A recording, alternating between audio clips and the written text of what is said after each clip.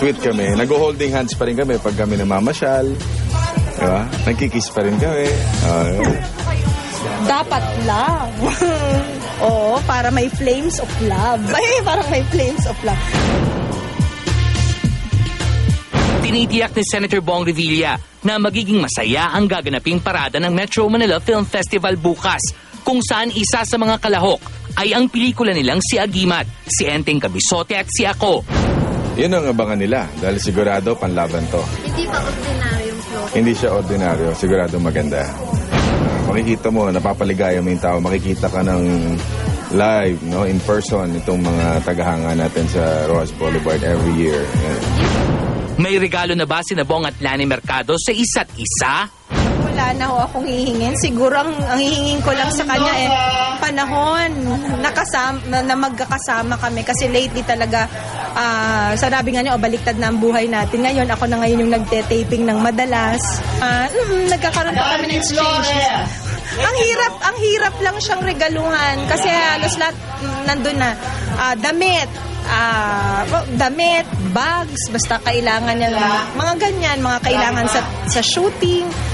One time nga, regaluhan ko pa siya ng makeup kit, yung may mga ilaw, mga ganon.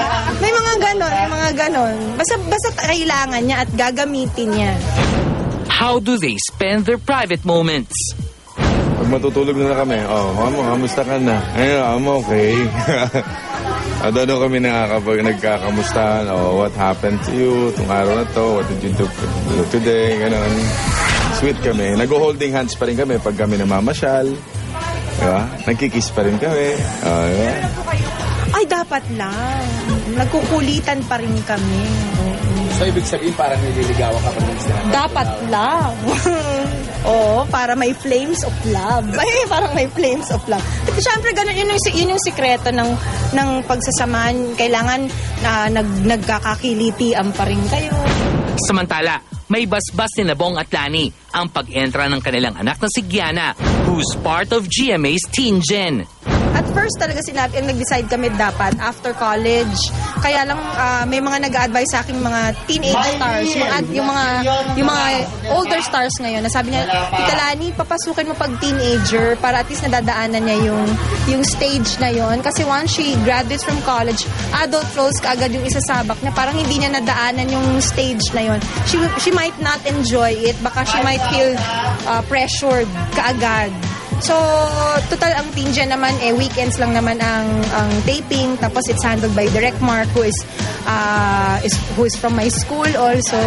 Ah, so, ano, kampante ako. Kampante ako sa pag-aalaga ng GMA7 at ni Direct Mark yan. Samantala, totoo ba ang balitang nagtapat na si Jolo at nobya nitong si Jody Santa Maria na balak na nilang magpakasal? Alam mo naman ang, ang, ang pagsasettle down, eh, timing din yan. Timing.